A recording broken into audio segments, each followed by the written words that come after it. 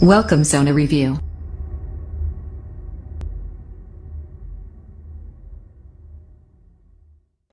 Oke, kembali lagi bersama saya Zona Review.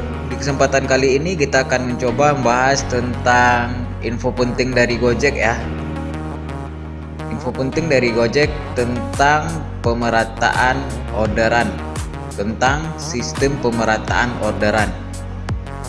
Tapi sebelumnya jangan lupa like, share, dan subscribe channel saya. Oke, kita langsung lihat saja. Ya, inilah uh, notifikasi atau info penting dari pihak Gojek ya langsung dari pihak Gojek info penting rekan mitra sehubungan dengan isu yang beredar terkait perubahan pola orderan kami luruskan bahwa isu pemerataan order tidak benar pembagian orderan dari Gojek masih berdasarkan satu jumlah orderan yang ada dan dua riwayat penyelesaian mitra.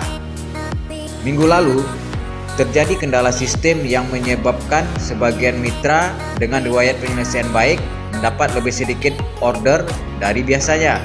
Permasalahan sudah diketahui dan sekarang sedang dalam tahap pemulihan sistem secara bertahap.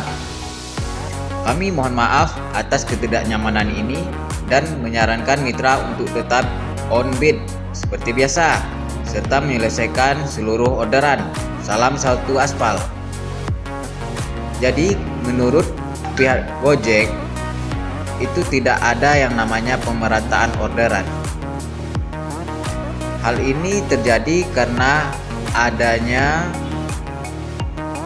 permasalahan di sistem dan eh, pihak Gojek sudah mengetahui eh, permasalahan yang ada dan sedang melakukan pemulihan sistem secara bertahap ya. Jadi ini adalah notifikasi langsung dari Gojek dan Gojek menyatakan tidak ada pemerataan orderan. Sistem yang dipakai masih sistem yang lama. Jadi hanya ini yang bisa saya sampaikan di video kali ini. Jangan lupa like, share, dan subscribe channel saya. Sampai jumpa di video next. See you.